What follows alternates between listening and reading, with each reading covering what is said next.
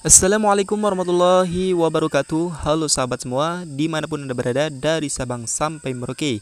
Selamat datang di channel Ane. Nah di kesempatan kali ini teman-teman Ane mau ngebagiin tutorial Yaitu cara mengaktifkan atau cara menampilkan uh, status kecepatan internet yang ada di HP Android kamu teman-teman.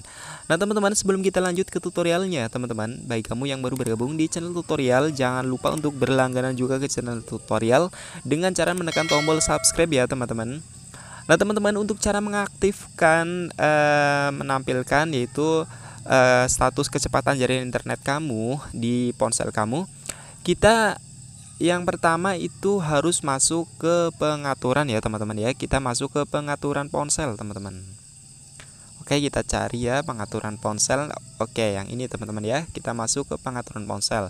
Kemudian kita geser ke bawah dan kita cari yaitu layar dan kecerahan teman-teman ya. Yang ini teman-teman ya. Kita klik kita masuk Kemudian kita geser ke bawah teman-teman ya. Yang paling ujung ini yang paling bawah ini ada menu yaitu tampil tampilkan status kecepatan jaringan. Nah, itu untuk menampilkan kecepatan jaringan internet kamu, teman-teman. Kita klik aktifkan aja, teman-teman.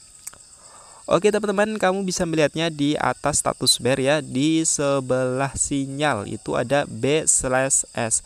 Itu adalah uh, kecepatan jaringan internet kamu teman-teman. Kita coba browsing-browsing ya teman-teman ya. Kita coba browsing-browsing ke Play Store. Dan di atas sudah nampil ya teman-teman ya. Itu ada uh, K slash S itu adalah kecepatan internet kamu teman-teman. Nah teman-teman itu dia teman-teman cara mengaktifkan atau cara menampilkan status uh, kecepatan jaringan internet yang ada di ponsel kamu teman-teman. Nah teman-teman baik kamu yang baru bergabung di channel tutorial jangan lupa untuk berlangganan juga ke channel tutorial. Dengan cara menekan tombol subscribe teman-teman ya. Dan terima kasih sudah menonton video tutorial kali ini. Semoga bisa bermanfaat. Dan jangan lupa share-share juga ke teman-teman kamu agar teman-teman kamu tahu apa yang kamu tahu. Terima kasih. Sampai jumpa lagi di tutorial-tutorial berikutnya. Bye bye